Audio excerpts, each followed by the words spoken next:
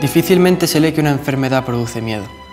En cambio, sí se lee que puede producir dolor, limitación de la movilidad o delirio, entre otros síntomas y signos con los que la medicina se siente más cómoda y útil.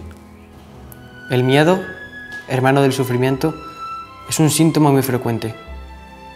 No solo lo padecen los enfermos, sino también sus familiares. Según la enfermedad, el miedo se puede manifestar de diferentes formas. Miedo a empeorar, miedo al dolor o miedo a la muerte, entre otros miedos. Lo sorprendente, o no, del miedo, es que siendo un síntoma presente en todos los enfermos, nunca se pregunta por él. Posiblemente sea debido a que el miedo es un síntoma que afecta a los enfermos y no a la enfermedad. Y de enfermedades, afortunadamente cada vez sabemos más, aunque quizá de enfermos empecemos a saber menos.